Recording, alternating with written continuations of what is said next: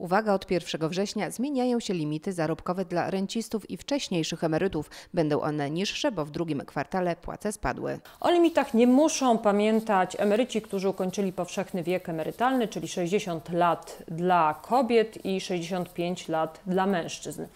Mogą oni dorabiać bez ograniczeń.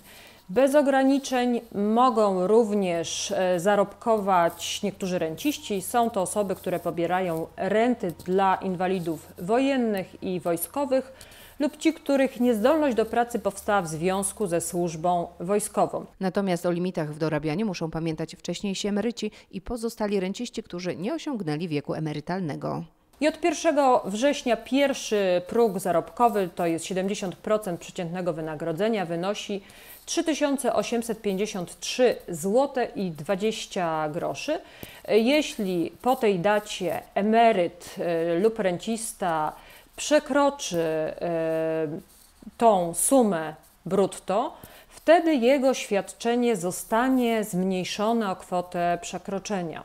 Natomiast jeśli przekroczy drugi próg, czyli 130% przeciętnego miesięcznego wynagrodzenia i od 1 września to kwota 7155 zł i 90 groszy, wtedy jego świadczenie zostaje zawieszone. Na nowe kwoty limitów muszą uważać szczególnie osoby pobierające renty socjalne, bo ich dotyczą nieco inne zasady dorabiania. Jeśli ich dodatkowy przychód będzie wyższy niż pierwszy próg, to świadczenie będzie zawieszone, a nie zmniejszone.